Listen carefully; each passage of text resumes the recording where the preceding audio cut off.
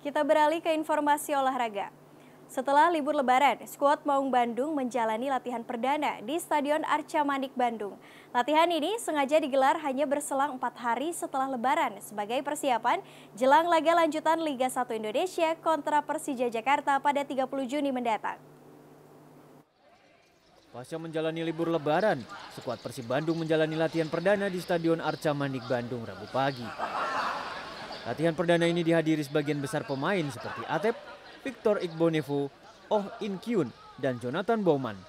Sementara empat pemain yakni Ezekiel Duasel, Bojan Malisic, Febri Haryadi, serta Akil Safik tidak hadir dalam latihan yang dipimpin langsung pelatih kepala Roberto Carlos Mario Gomez ini.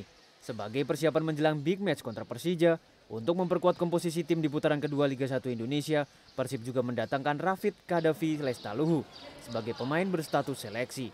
Pemain sayap yang sebelumnya sempat memperkuat Persija, Bayangkara FC dan Persita Tangerang tersebut bergabung dengan skuad Maung Bandung selama tiga hari.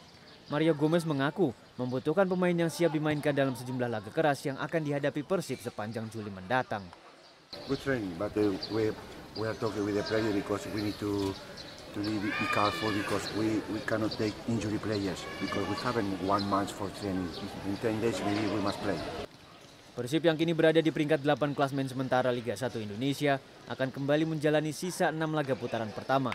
Selain akan menghadapi Persija, Persib juga harus menantang PSIS Semarang, Perseru Serui, serta Persela Lamongan. Freddy Bangun, Bandung.